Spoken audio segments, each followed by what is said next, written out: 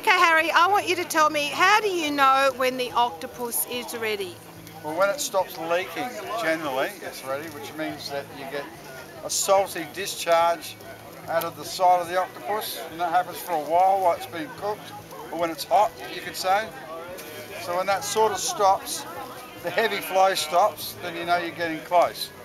But being octopus, you know, it likes to be really burnt thrashed around a bit. Okay, now we're going to zoom in for a close-up of the octopus. And here it is, folks. It likes to be treated rough and tough. Oh, wow, check it out. Don't be nice to it, in other words. Yum, yum. And it, Thanks, and it tastes better than it looks.